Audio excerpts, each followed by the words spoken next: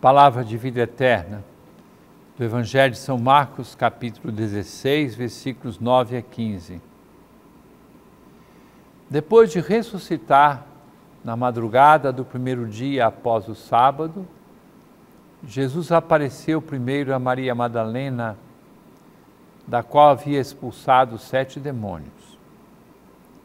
Ela foi anunciar isso aos seguidores de Jesus, que estavam de luto e chorando quando ouviram que ele estava vivo e fora visto por ela, não quiseram acreditar.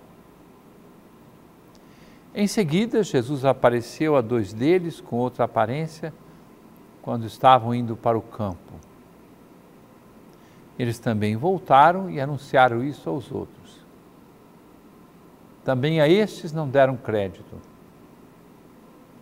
Por fim, Jesus apareceu aos onze discípulos enquanto estavam comendo, repreendeu-os por causa da falta de fé e pela dureza de coração, porque não tinham acreditado naqueles que o tinham visto ressuscitado.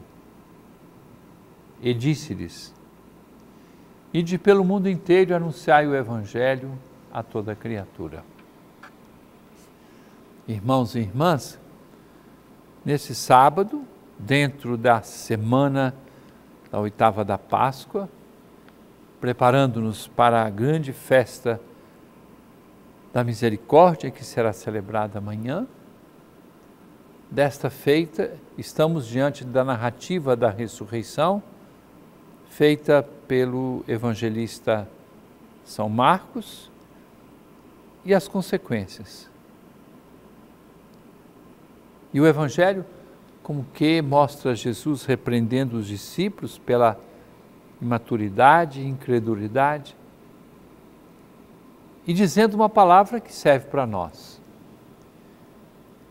Eu não começo a acreditar em Jesus ressuscitado por alguma visão. Eu aprendi a acreditar em Jesus ressuscitado pelo testemunho que me foi dado. Meus pais, padres, catequistas, comunidade cristã. E a provocação serve para todos nós.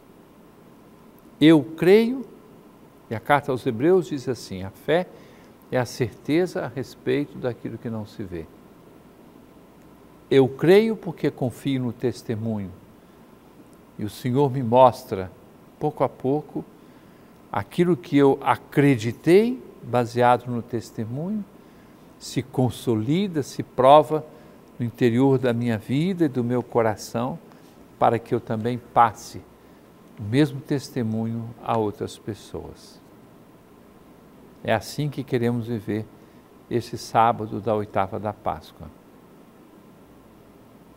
É palavra de vida eterna.